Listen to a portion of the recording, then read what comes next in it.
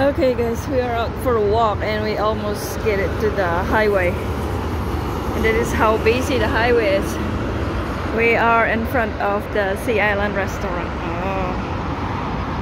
Ganon. Busy. I know. Dog. Busy, busy, busy.